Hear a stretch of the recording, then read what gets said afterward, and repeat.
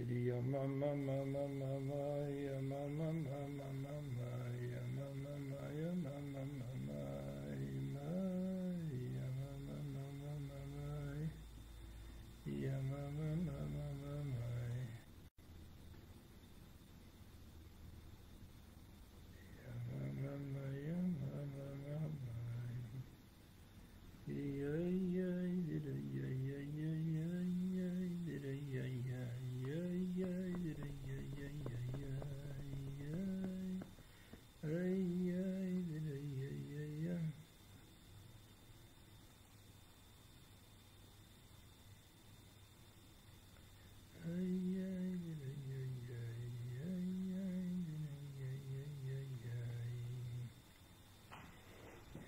Jó estét kívánok!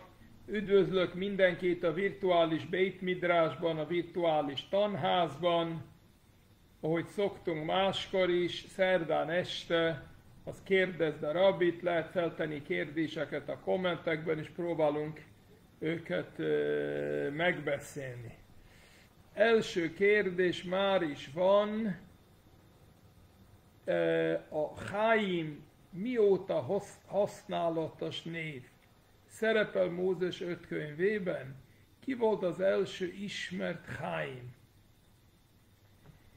Ki volt az első ismert Chaim? Eszembe jut a Chaim név 300-400 évvel ezelőtt, már említettem, van egy Orha Chaim című kommentár a Bibliához, ami Kabalatól kezdve halachá is mindenféleket, tehát jóval korábban is van uh, Chaim. A Bibliában nincs olyan név, mint Chaim. Nem tudom, mikor van az első Chaim. Most hirtelen még a Talmudban se vagyok biztos, hogy előfordul a Chaim név, akkor talán később. De mindenki, mindenképpen Chaim ez egy nagyon jó név, mert a névnek van egy nagyon pozitív tartalma, az élet. Nézzük, mi a más kérdés. András, ezen a héten legkésőbbi Smá van 8.42-kor. Szombaton mondtam a Smá a határidő előtt kö- körülbelül 35-40 perc a Sábeszi Sáharit előtt. A kérdés lenne, hogy ilyen helyzet az ottani Smá talitól kell mondani. No, akkor elmagyarázom a kérdést. Reggel este micva mondani a smát, a haljad Izraelt elolvasni. A smá az a nap első három órában el kell mondani. Nyáron elég korán kezdődik a nap, és ezért az első három óra az már kilenc óra előtt. És ezért még akkor is, ha az ima, az ima a zsinagógában, a közösségi ima kezdődik később, mindenképpen az embernek el kell mondani a smát előtte. E, Talital a válasz, hogy nem, hanem csak elmondani a smát, és majd a zsinagógában, a közösségi imában az, e, ember el, elmondja a smát újra a talital. Chaim. A Chaim szó formailag többes szám, mégis életnek fordítjuk.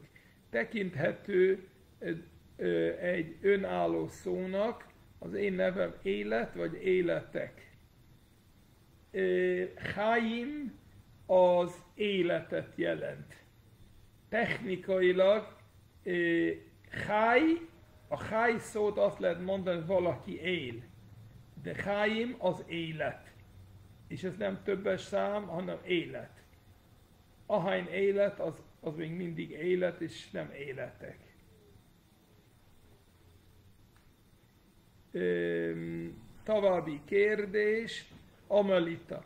Mózes elnevezte, elnevezték, Mózes elnevezte Hoséját, Jósuának a kémek történetében.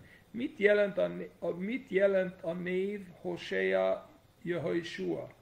A, ahogy mondtam már sokszor, érdemes mindig olvasni a Rásit, a Rási kommentárt a, a Tórához. A Rási azt mondja, hogy az, hogy megváltoztatta ö, Hoséjának a nevét, hogy legyen Jehoshua, akkor ez úgy van, lehetne úgy is olvasni, mint a két szó lenne, ka, Hoséja. Jut K, az Istennek a neve, az Isten segítsen neki, hogy ő úgy térjen vissza a Szentföldről Cadiknak, Jámbornek, és nem úgy, hogy a többiek, akik rosszat mondtak Izraelről. Chaim, további kérdés. A Karpév tulajdonképpen egy mini éruv, ma is használható. A Karpév az a szombati, a szombati törvény, Hilchot Shabbatban található. A Karpév az lényegében nem egy mini éruv, ahol szabad hozni, vinni valamennyire, hanem egy valójában bekerített rész, csak nem egy lakhely. Egy nagyon nagy rész, ami csak raktárnak vagy ilyesminek, ennek, sem, ennek az nem egy mini érőbb, mert az érőbnek az a lényege, hogy egy lakhelyet körbe, körbevették, szóval Kárpéve szerintem egy másik fogalom. András, a Lévi törzs volt osztva 24 családi csoport. Évente maximum két hete dolgoznak. Ugyanígy a Lévik, és ugyanígy a kajak a szentében, nem minden héten jött bárki, hanem be, volt, be voltak osztva. Gondolom, hogy a további 52, 52 hét tóra tanulása voltak foglalva. A válasz, hogy igen. Az, a tórában az van benne, amikor a zsidók bejöttek Izraelbe, akkor a felett osztva a föld, minden, minden törzs kapott egy nagy részt, és mindenki abban a törzsben kapott, kapott saját részét. Abban az időben agrár társadalomról volt szó, mindenki kapott földet, és azt tudja feldolgozni. A lévi törzs a kohenekkel, a papalakkal együtt nem kaptak lakhelyet, de nem kaptak szántóföldet, nem kaptak telket, mert ők nem dolgoznak, ők az Isten szolgai. Vagy, szolga, vagy dolgoznak, szolgálatot tesznek a Jeruzsálemi szentében, vagy tanulnak, de nem dolgoznak kint. Helyette a zsidó nép támogatja őket, a, az új termésből le kell adni a truma részt, az első született fiút ki kell váltani a Kohenál, és stb. stb. Chaim azt olvastam, hogy a leháim áll részt jelent, és a kohent illeti. Lechajáim, nem lecha, lechajáim. Áll részt jelent, és a kohent illeti. Hogy kapcsolódik ez a háim névhez, és az itallal köszöntéshez? Egyáltalán nem, mert ez lechajáim ez egy teljesen másik szó, és egyáltalán nincs benne a, a, a jelentése az élet, és nem a, a, a háim, és nem a, a háj, hanem lehi szóból jön, szóval teljesen másik, másik szó. Egyébként ez is az egyik dolog, amit a Kohennak kell adni, mert összesen a Kohennek 24 ö, ajándékot, adományt kapnak a zsidóktól, és emiatt nem kapnak tel földet Izraelbe munk, munká, munkálatra.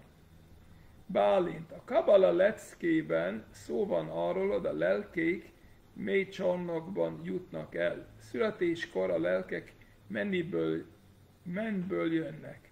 Van kapcsolat a leszálló és felszálló lelkek helye között, van kapcsolat a leszálló és a felszálló lelkek helye között? Nem. Mert a, amikor a lelkek leszállnak, beszélek egy új lélekről, akkor az új lélek még nincs semmi helye a, sehol a Gan Édenben, mert ő még nem csinált micvákat a le, ez a lélek, ami lejön. A lélek, ami feljön, megkapja a saját helyet a szinte, Isten szolgálati szinte, szinte alapján.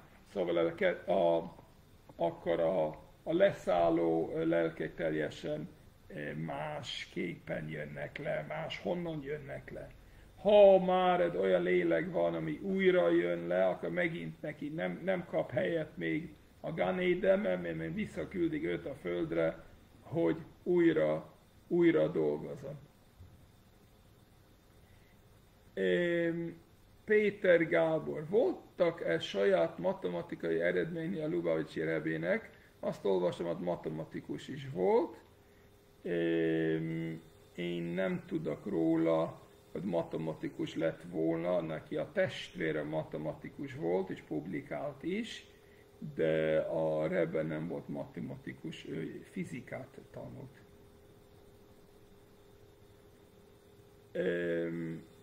Amelita. Gvurat Izsákkal hozta, hozzuk párhuzamban, párhuzamba. Izsák feláldozásahoz köthető, vagy más a magyarázat. Miért beszél a Biblia keveset, keveset Izsákról? No, kezdünk a harmadik kérdéssel. A, én nem vettem észre, de a Biblia kevesebbet beszélt volna az Izsákról, elmond minden fontosabb dolgot az életéről, és sok mindent mond el róla.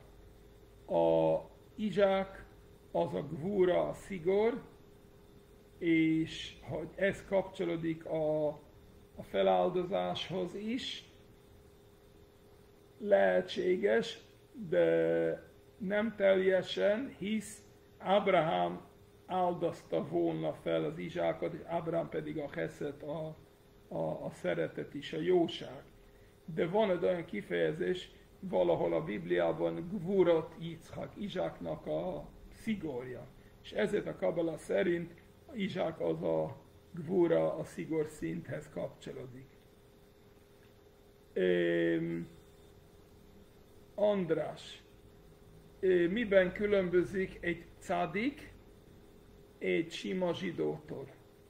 Ó, ez egy nagyon jó kérdés, és ezt, ezért kell tanulni Tányát. A Tányában az Alter Eberev és Neher elmagyarázza, mi a különbség a cadik és egy közepes zsidó között, mert a cadik és a vétkes zsidó között az egyértelmű, a vétkes vétkezik, a cadik nem vétkezik.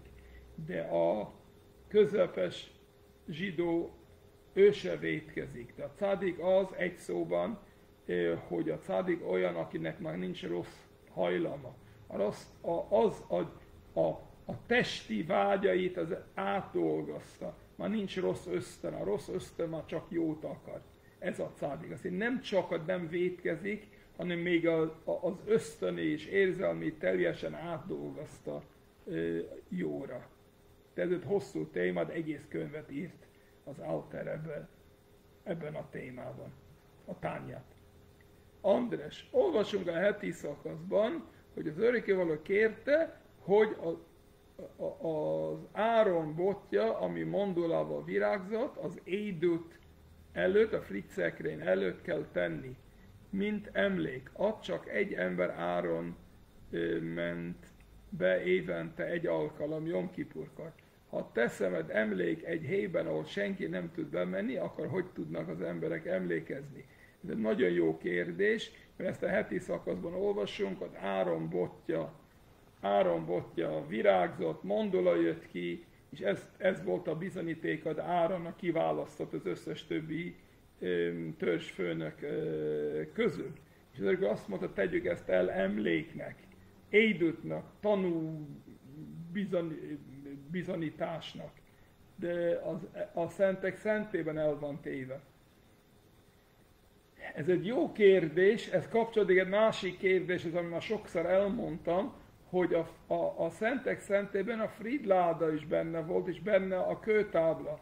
A kőtáblat soha senki nem olvasta, mert ott volt a Fridládában, és ott el volt téve. Gondolom, hogy a válasz erre az, hogy hiába nem látták, de pontosan tudtak, hogy mi van a szentek szentébe. Olyan, mint a, mint a valakinek van egy drága kövek és minden, és ez a széfben a, el van téve. Ez nem jelenti az, hogy nincs számon tartva, vagy ilyesmi, hanem nagyon jó helyen el van téve. De mindenképpen a, a kérdés az jó. Máté, mi a Korach lázadás tanulsága?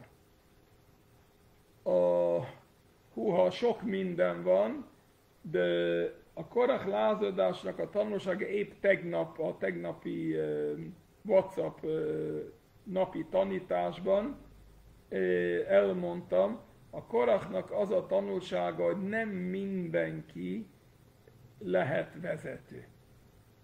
Ez a fajta irítség, hogy ha ő nagy tudós, akkor én is tudós vagyok, ha ő ért ehhez, akkor én is értek ez, ő vezető, én is vezető vagyok, ez nem így van. Az örökkévaló, az örökkévaló mindenkit megteremtett másképpen, mindenki másképpen néz ki, más a véleménye, más a felfogása, és más a tehetsége, képessége. És ezért valaki vezető, valaki vezető helyettes, valaki tudós, valaki kis tudós, stb. Senki, a irítség nem viszi az embert előre. Ugyanakkor mondja Salamon király, ki frim tarbe chokhma. Azt van olyan irítség, ami nagyon hasznos, amikor én nem hogy azt mondom, én is tudós vagyok, mert ő is, huha, ő tudós, akkor én is tudós szeretnék lenni, és kezdek tanulni éjjel-nappal. Az egy nagyon fontos irítség, hogy irítségből leülök tanulni, irítségből én is szombattartó leszek, irítségből én is filint fogok rakni minden nap, és kósert eszek, stb. Mert nehogy csak ő, hanem én is. Az egy nagyon jó dolog. Chaim. Hol lehet olvasni az óriásról, talán Og a neve, aki túlélte az özönvizet? Mi az ő története? Ez ugyanaz az Og, akivel Joshua ben Nun is találkozik, találkozik, inkább háborozik. Hol lehet olvasni? Egy helyen összegyűjtve az információ róla, szerintem nincs, ha csak nem Naftali Krausz az ősi forrásban írt róla, de hát vannak ilyen említések itt az óriásról, illetve az óriás, óriásokról tanultunk a Zohar óránkon is, a Zoharból a hétfőn este, hogy két angyal volt, akit az Isten leküldött ide, hogy próbáljanak ki milyen embernek lenni, és rögtön kezdtek vétkezni. Azt mondja a Tóra, láttak a szép lányokat. András, ha nem mehetett, ha nem mehetett senki közül, senki közel a Fridládához, a főpapon kívül, akkor hogy lehet, hogy nem tudjuk, hogy hol van most a Fridláda? Pont nem értem a kérdést. Ha senki nem, me, men, nem mehetett be a szentek szentében, ezért mindenkinek tudnia kell, hogy hol, hol van a Fridláda, nem értem. A Fridláda az el van téve, a, az elfogadott vélemény Talmudból, Maimonidesből, hogy ez el lett rétve valahol a templom hegyen, valamelyik barlangba, és ez ott van, és a harmadik szentély eh, felépítése után elő fog kerülni, és akkor méltó helyet kap a régi helyen, a szentek szentében. Máté úgy néz ki, mint a korachék nem tudták, hogy Mózes és Áron kiválasztott. Természetesen Korach tagadta, nem ismerte el, hogy Mózes az Isten kiválasztotta őt legyen zsidó név vezetője, és Áron megint az Isten kiválasztotta, hogy ő legyen a főpap. Ő akart cá, megcáfolni Mózest, mint a Mózes nem az Istent, a nem az Isten na, küldte. És természetesen ez nem lehet. Máté, miért haragudjad rájuk annyira Mózes, hogy halálukat kérte? Jó, nem pontosan halálukat kérte, de tudta, hogy nagy büntetés fognak kapni, mert ez az egész zsidóságot lényegében aláásta, aláásta volna. Ő kérdőjelezte Mózesnak a hitelességet. Kérdőjelezte, hogy Móze, amit Mózes mond, ez tényleg Istentől származik, vagy nem. Hát akkor vége van a zsidóságnak. Nem az a kérdés, hogy hány főpap lesz, ez már technikai kérdés, de, az, a, de a követelés, Koraknak a követelésének az alapja, hogy ő is szeretne főpap lenni, annak mi volt az ideológia alapja, hogy ő, kérdőjelezte hogy a Tóra az Istentől van, és akkor vége van a ezzel aláássa az egész zsidóságot. Ö, István, miért van ö, miért van éppen hétfőn és csütörtökön a hétköznapi tóraolvasás? Ez egy nagyon jó kérdés. Minden szombaton olvasunk el a heti szakaszt, az egész heti szakaszt. Hétfőn és csütörtökön olvasunk egy kis rész, olyan, mint egy kis kóstoló, és de miért van ez így? Erre azt mondja a Talmud, ez Mózes elrendelte, azért, hogy ne legyen az, hogy a zsidó három, nap, három napon keresztül nem tanul semmit. Ha van olyan zsidó, aki jön a zsinagógában, imádkozik a közösséggel, de, de nem ül le tanulni még egy percet sem napközben, az nagyon sajnálatos, hogy három nap az nagyon sok idő. Ezért azt mondta Mózes, hogy a, a, a hat napos hetet, ugye, mert szombaton van tóraolvasás, a vasárnaptól péntek ne, két, kétszer be fog iktatni egy kis tóraolvasás, hogy legyen egy kis tóra tanulás. Tórai szöveg menjen az ember fülében hétfőn, aztán kedd, szerda, megint két napot nem tanul a zsidó, és csütörtökön megint. Ez mutatja, hogy a tóra tanulás a zsidónak az olyan, mint, majdnem olyan, mint a levegő, mint étel minimum. Hogy nem lehet sokáig nélküle, mert az ember lelke éhezik. Máté, mikor a nép látta, hogy mi történt Koráhol, miért lázadt újra? Hát miért? Mert olyannak az emberek, hogy van a Tórában, Amksej, Ajre, fú, az egy kemény nép, makacs, és az ember olyan. Az ember olyan, nem az emberek nem az igazságért harcolnak, hanem a saját igazságért harcol. Vagyis az ember nem is próbál meghallgatni a másikat, talán igaza van. Az ember el van foglalva magával, és nem, és nem az igazság. Az, az már tudtak, hogy Mózest az Isten küldte, az Isten választotta ki, de megint vitatkoznak vele, és megint vitatkoznak vele. Hát, ez ilyenek az emberek, és csak nekünk, nekünk meg kell tanulni, nekünk meg kell tanulni milyenek nem lenni. De Hanna, azok a nem zsidók, azok a nem zsidók, akik a Gan Édenbe jutnak, még csarnokba kerülnek. Ö, nem tudom, mert amikor tanultunk a Zohárt, a Zohárban nem, nem lett, ne, a Zohár nem mondta el. Mindenképpen az első csornakban mindenképpen. Mert ha azt mondjuk, hogy, el, hogy, hogy, hogy, hogy van részük a túlvilági üdvösségben, azt jelenti, hogy az mindenképpen az első csornak. Tovább hova mennek, nem tudom, mert az Zohár nem mondja el. Legalább egyelőre. Lehet, hogy majd a folytatásban még többet fogunk megtudni ezekről. Jó a kérdés, köszönöm. Amelita. Abraham, Abrahamnál olvasunk Melki Cedekről, ki kenyeret és bort hozott. Mi ennek a történetnek a biblikus ö, magyarázata? Ö, nem értem pontosan a kérdést. A Melki Cedek fogadta Abrahamot, borral és kenyerrel, ugye Abraham háborúban el volt foglalva, és fogadta őt étellel és italal. Nem tudom pontosan milyen, történet, milyen, milyen történetet keresel itt. Mert azt, azt olvasok, hogy Malki Cedek ment fogadni Ábrámot, míg Ábrám harcoltatta a sok király ellen, mert akarta megmenteni unokaöcsét, a Lotot. András, az első sali, amit küldött a Rebbe Marokkóba, küldte. Miért ad pontosan? A, az első küldet az 1950-ben a temet, az előző Lubavitch Rebenak a temetése után napokon belül a Rebe gondoskodott, hogy Lipsker rabbi utazon Marokkóba.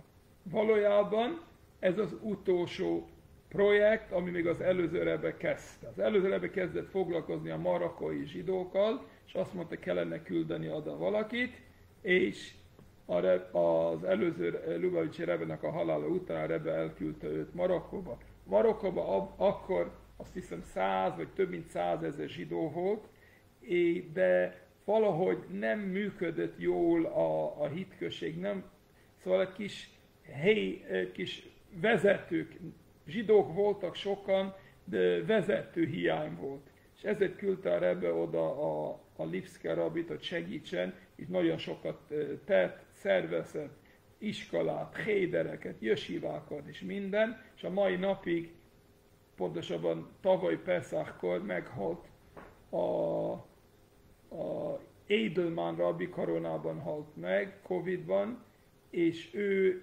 50 éven keresztül a nem hivatalos főrabia volt Marokkóban. Mit jelent, nem hivatalos? A munkát ő csinált. Ő képezte ki a saktereket, a szajfereket, a, a rabikat is, gondoskodott a mikvején és mindenért. Sajnos most Covid-ban hunyt el. András, a sivatagi szentély megmarad valamilyen formában, vagy azt alakítottak át végül a szentélyei amit leromboltak, nem? A Midrás azt mondja, Mászé Yadav Shel Moshe, hogy Mózesnak a keze munkája, vagyis a, a sivatagi szentét, amit Mózes által felett építve, az megmaradt. Valahol megvan, nincs megnevezve, hogy hol, hol van, de nem, de nem lett beépítve a Jeruzsálemi szentében. Annál is inkább, mert az ö, fából volt, és a Jeruzsálemi szentének a fala ez nem fából volt, hanem kőből épített, épített szenté volt az. Chaim, mi a Hagagula, Tammuz 13. Mit jelent a kifejezés? Hogy ünnepeljük?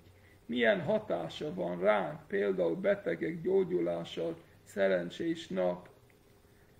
Hagagula az a megváltás ünnepe, és arról van szó, hogy az előző Lubavicsi Rebe 1927-ben, Tammuz 13-án szabadult, a, miután letartóztatták, és halára akartak őt ítélni, aztán három évi számüzetésben, és a végen pár nap után pedig szabadult, és haza tudott haza tudott utazni, és a végen még kiengedték őt a Szovjetunióban.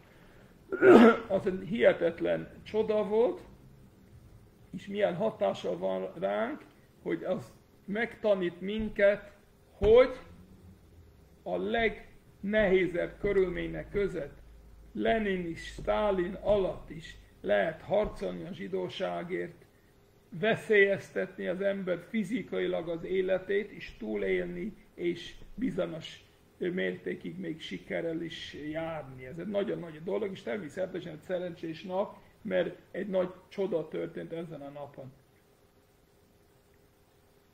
Ma már nem nincsenek Stalinak és, és Leninnek, a, a, aki ellen fel kell lépni, az embernek van saját rossz ösztönei, vagy valamikor ilyen társaságban keveredik, ahol, ad, ahol kell, hogy az embernek legyen lelki erőssége, hogy kiálljon a saját hiteért, a zsidóságaért.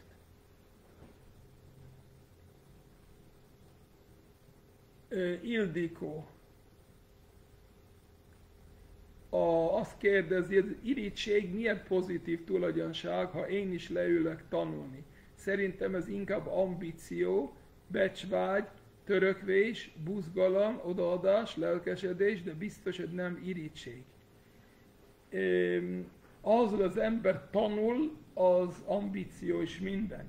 De a kérdés, hogy mi, a, mi az, ami elindítja sok, sokszor, nem mindig, sokszor az, az irítség az, ami elindítja az embert. Az irítség kétféleképpen jelenik meg az emberben.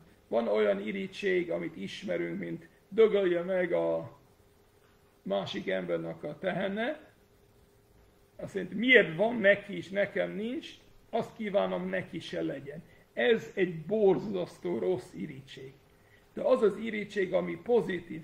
Miért a másik ember olyan nagy tudós, és én nem, és nem azt kívánom, hogy ő nem, nem legyen nagy tudós, hanem huha, milyen jó lenne, én is nagy tudós lennék. Ez, ez, egy pozitív irítség. Hogy lehet az, ő neki a nagyszülei nem is voltak ortodoxok, nem is voltak olyan vallásosok, és ő szombattartó lett. Fúha, hogy tudta elérni ezt, és én nem? Jó, akkor én is el fogom érni ezt. Ez egy pozitív irítség. Nem kívánom neki semmi rosszat, sőt, örülök az ő sikerének, de ez indít engem el, és kihoz be e bennem egy ambíciót, hogy én is legyek olyan, mint ő. Ez, egy pozitív, ez a pozitív irítség.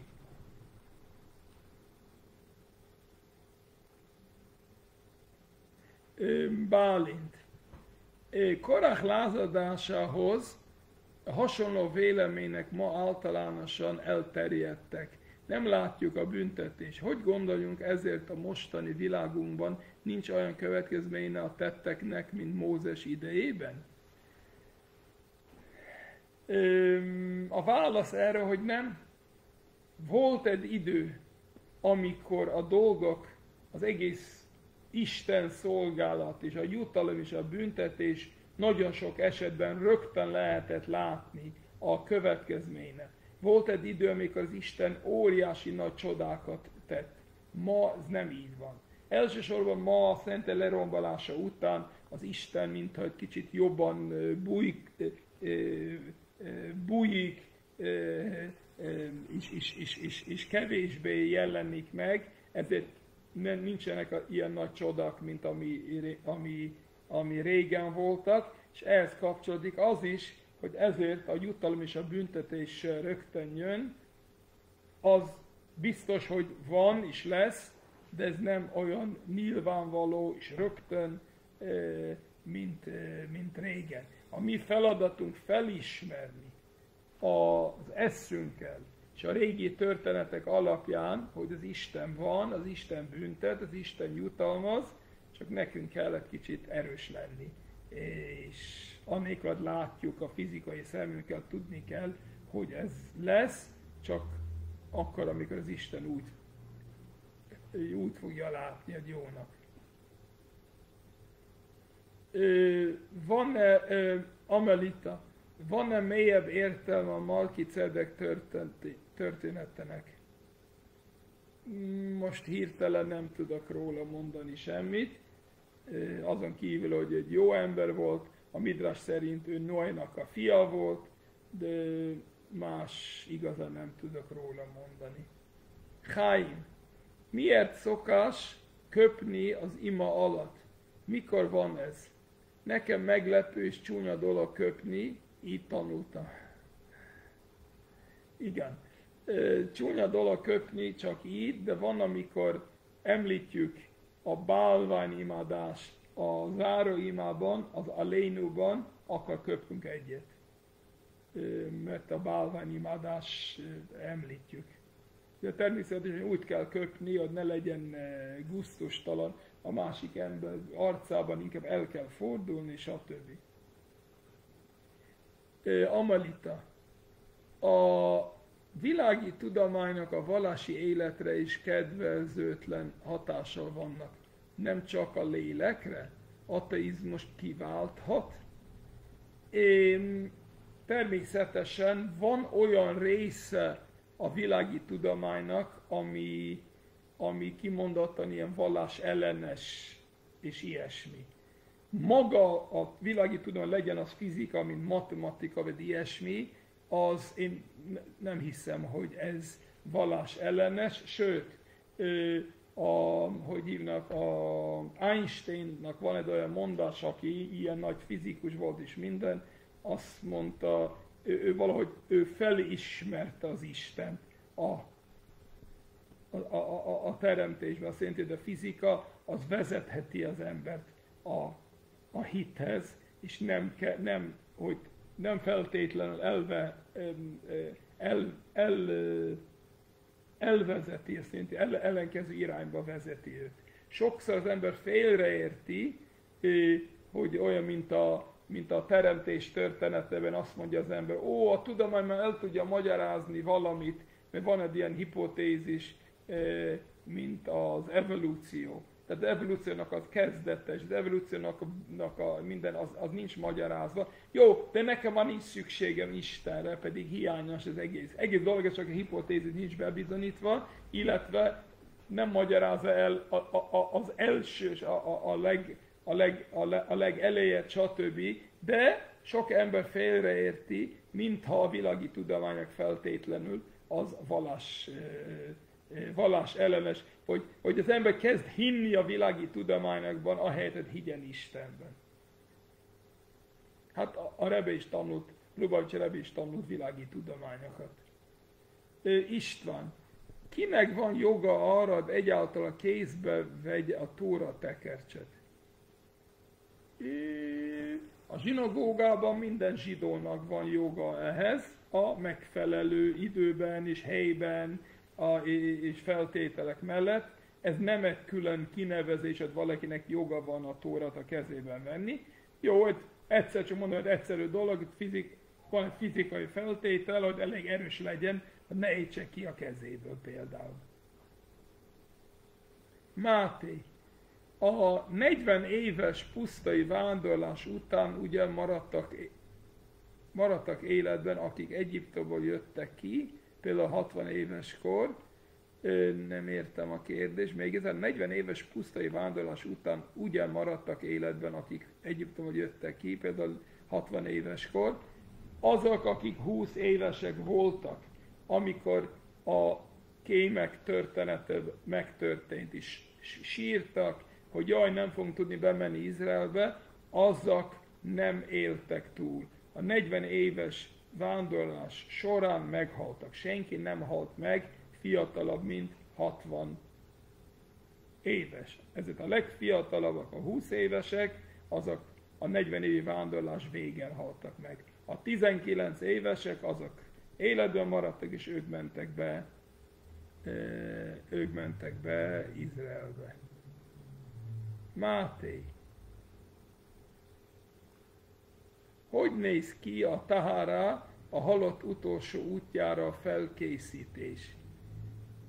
A, a tahara az két részből áll. Először fizikai felkészítés, mosdatás, tisztítás, öltöztetés a halatti ruhában, ezen kívül vannak ott imák, mindenféle imák, ami elhangzanak a öltöztetés során.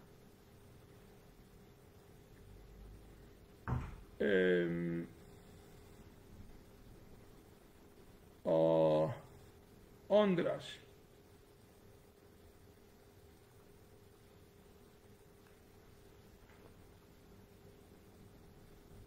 András, Hamoci áldás után, ha bort iszünk hétköznap, vagy gyümölcsöt eszünk, kell külön áldás mondani. De mi a helyzet, ha eszünk, mint desszert, mezonot vagy fagyit? Az, az elfogadott vélemény, hogy most először az alap halakat, mindenki értse. A halak ugye elvileg, ha eszünk, akkor minden itallal, vagy italra, vagy ételre kell mondani áldás. Meg kell köszönni az, Ist, az Isten, az Istennek, hogy eznek meg, biztosította nekünk. Ha kenyeret eszünk, akkor a kenyer ez fő ételnek számít, és minden, ami az étkezéshez tartozik, az már ha majci a kenyere mondat áldáshoz tartozik. De az, ami nem az étkezéshez tartozik, desszert, legyen az sütemény, fagyi, vagy más, az már, amit az ember már ilyen mondjuk édesség, vagy ilyesmit az ember eszik, az már nem az étkezésnek a része, arra kell mondani áldás, külön áldás. Hiába kezet mostunk, a majcit mondtunk a kenyére, akkor is kell mondani áldás.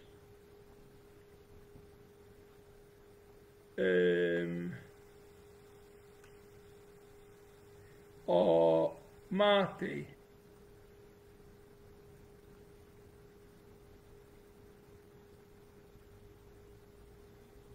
a kiválasztott zsidó nép története miért ilyen hányatat? Most mit tudok erre mondani? Ilyen a történet, ami olyan, hát ez sok mindent megyünk át, és a vége mindenképpen jó lesz. Azért, mert sok micva teszünk, ezért, amikor eljön a, a jutalomnak az ideje, akkor az nagyon, nagyon-nagyon ki fog derülni, hogy érdemes volt mindent. Minden, az nagy, sok szenvedés, az nagyon-nagyon a végén ki fog derülni, nagyon hasznos is volt. No, melyik úti? Jó napot kívánok, örülök, hogy itt vagy. Máte, jó teremtő a zsidóknak ígérte a Szentföldet. Miért kellett háborúval meghódítani? Azért kellett háborúval meghódítani, mert mások laktak ott. De jobb lett volna, ha át, átengedtek volna a zsidóknak, hisz, az Isten adta a zsidóknak, kértek is Jósua minden egyes városban külön-külön az van írva, hogy kérte, hogy mi, az Isten megadta nekünk ezt a földet, tehát a, a, a, népek nem akartak ezt átadni. Péter, Péter Gábor. Magyarországon kapható-e az Early Years című könyve? Lesz-e magyar nyelvű kiadása?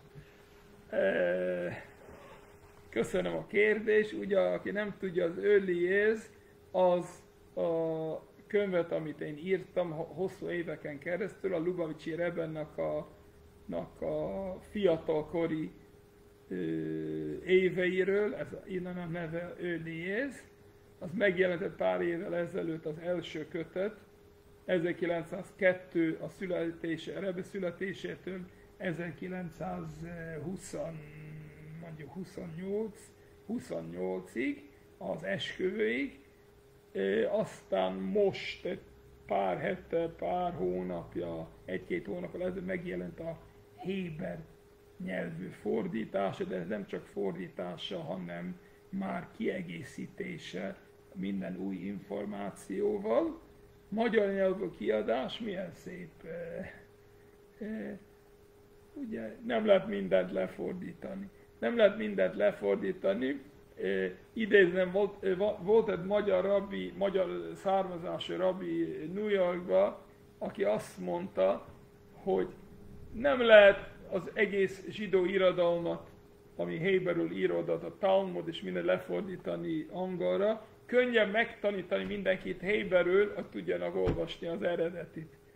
Szóval vannak olyan könyvek, aminek kicsi az esélynek jelenni fordításban. De köszönöm a kérdést. Jól esik. András, milyen jutatás kaphat egy rabbi?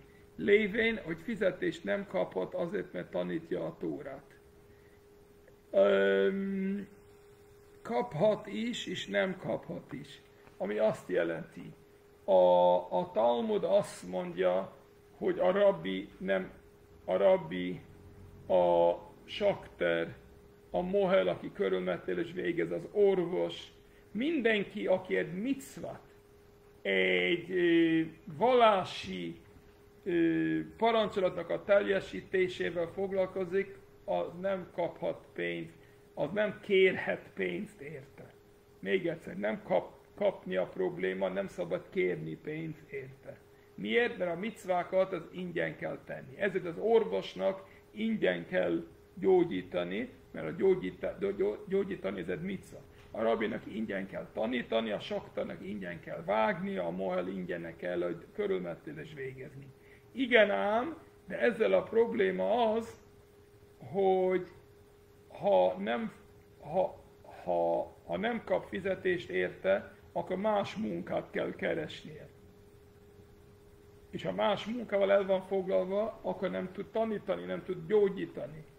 Erre azt mondjuk, hogy szabad kérni pénzt nem a munkájáért, amit fog végezni, tanítani fog, vagy gyógyítani, hanem azért, mert nem tud más munkával foglalkozni. Azt jelenti, hogy a kiesett idő után három órát, négy órát, öt órát nem, nem tudod más foglalkozással foglalkozni, és abból megkeresni annyi pénz, amennyi kell. Ezért lehet az orvosnak is kérni pénzt, és a rabbinak, csak a pénzt ő nem kéri a szolgálatért, hanem az arra kéri a pénzt, hogy tudja magát szabadá tenni, és ne legyen neki más foglalkozása. Mert ha a rabbi nem lesz neki, nem lesz neki pénzem, akkor mondjuk Schuster lesz. A Schuster lesz, akkor nem fog tudni tanítani. Vagy, vagyis, amikor én kérek a rabit hogy tanítson, ez azt jelenti, hogy most nem tud foglalkozni a Schuster szakmájával, és azt ki kell fizetni neki. Csak természetesen, ha a rabbi, aki képes volt annyi mindent megtanulni, az orvos, aki képes volt annyi mindent megtanulni, ha nem, ha nem tudnának megélni ebből, akkor biztos egy ilyen hasonló jellegű munkát, eh, tan, szakmát tanultak volna meg, ügyvédnek, vagy közgazdásznak, vagy ilyesmi, ezért ilyen szinten ö, számít nekik a munka kiesés.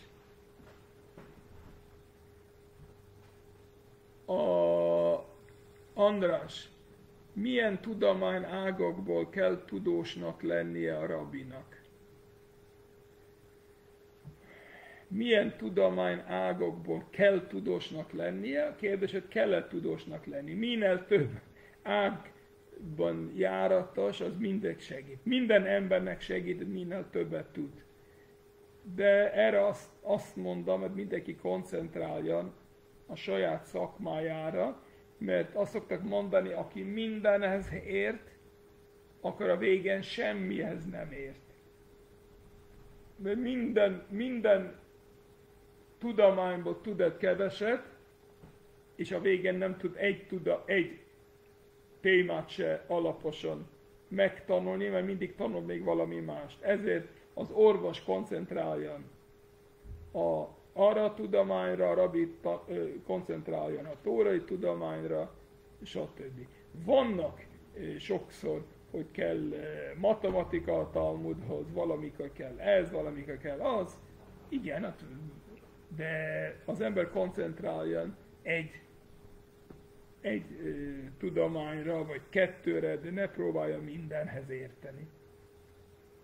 Máté, a jesivában mit tanulnak a bóhárak, kizárólag zsidó tudományokat? A jesivában két fő tudományt tanulnak. Zsidó filozófia és jog és filozófia. A jog az a Talmud és a Sohanároh, a filozófia, az a haszidizmus, vagy más, más. Ez jog és filozófia, ha az ember képes lesz ezt a kettőt jól csinálni, akkor nagyon jó rabbi lesz. Ha még az ember ért a fizikához is, matematikához is, még orvostudományhoz ez az, azt még jót fog tenni.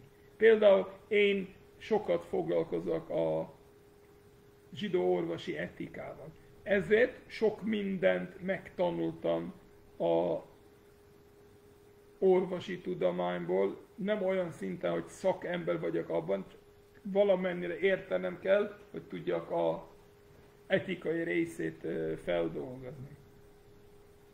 De az nem lehet, hogy az ember mindenhez ért, értsen. Jó, ott vannak olyan zseni emberek, akik sok mindenhez érteni, de azok, az, azok a kevések. Zoltán, ha férfinak parokája van, kell-e kipát tennie az áldásmondáskor?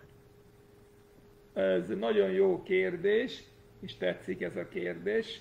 Ha jól emlékszem, akkor már valamikor írtam is ebben a témában, és akkor az el, valamelyik kötetben a zsidó a, a rabbi válaszol, ugye most egy, egyelőre három kötet van, most épp ma kezdtem a negyedik kötetet összeállítani, azt hiszem, egyszer már írtam ebben a témában. Van két vélemény erről, de azt hiszem az elfogadott vélemény az, hogy valaki, a férfi visel parokát, akkor az ugyanolyan, mint egy, hogy kipa lenne. Csak a egyetlen probléma az, hogy nem látszik, azt jelenti, hogy emberek fognak furcsán nézni rá, hogy nem, úgy, nem látszik, hogy kipával jár.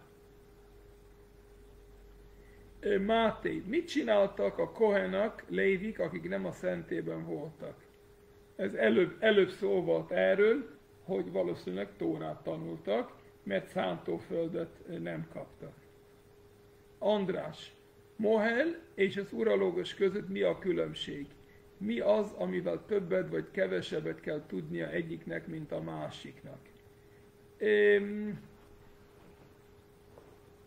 A Mohel, a Mohelnek tudnia kell, de azt nagyon alaposan is jól kell tudnia, és, és tud a körülmetélés, és ami ahhoz tartozik. Ebben, ebben ez is két részre oszlik. Van az a Moel, aki csak csecsemőket, csecsemeknek tudja megcsinálni a körülmetélés, mert ezen a szinten nagyon jól megtanulta, és nagyon jól tudja csinálni. Felnőttnek az már sok minden, ennél sokkal többet is tudnia kell. Érzéstelenítés, és utána a vérzésnek a leállítása, varások, is tudni kell sok minden más, hogy mi az, amit nem szabad elrontani. Ugyanígy vannak tevőleges parancsolatok és tiltó parancsolatokat. Először nagyon jól kell tudni, mit kell tenni, és másik dolog, sok minden más is kell tudni a témában, hogy ne rontson el semmit. De ő nem, ő, ő, ő nem egy urológus, ami más dolgokra is. Ő az urológia, mondjuk nevezünk, hogy a urológián belül egy nagyon szűk metszet, egy nagyon szűk részét, azt, amit ő nagyon jól tudja. És amit ő tudja, általában jobban tudja, mint az urológus, mert ő erre, ennek a specialista. És ha valaki ennek a specialista, akkor ő ezt tudja minden oldalról, és alaposan, és még alaposan. Ezért van az, hogy a, a felnőtt, a felnőtt körülmetélésre mindig egy külön erre kiképezt, kiképzett ember, e, embert kérünk fel erre, aki nagyon jól tudja, és már nagyon sokat tett a témában. Egyébként, ha már beszélünk, akkor Andris, kérlek, ha lehet, akkor ma este 9 után hívjál fel, mert van, van, van valamit szeretnénk megbeszélni veled.